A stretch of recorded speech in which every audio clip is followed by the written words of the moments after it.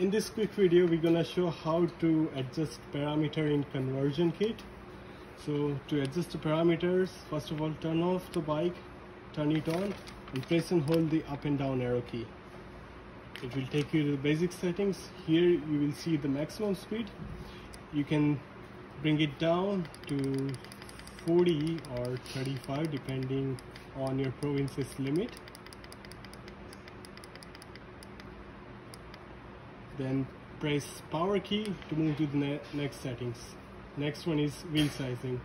Depending on your bike you can change it to 700c like 29er to 20 inch in our conversion kit.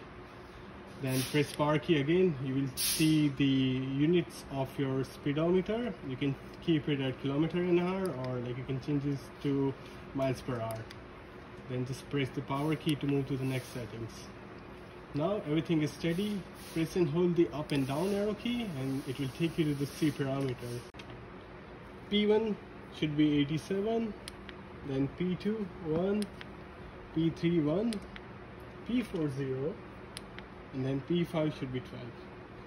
Then press the power key again, everything will be steady and press and hold up and down arrow key, it will take you to the C parameters.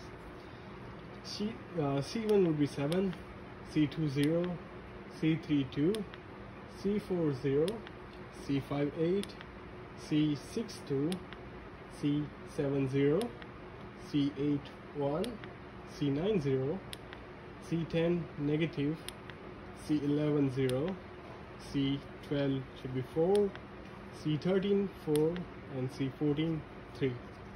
Just press the power key again and everything would be steady and then press and hold the power key. It will take you to the main menu. Then restart the bike and all the parameters should be updated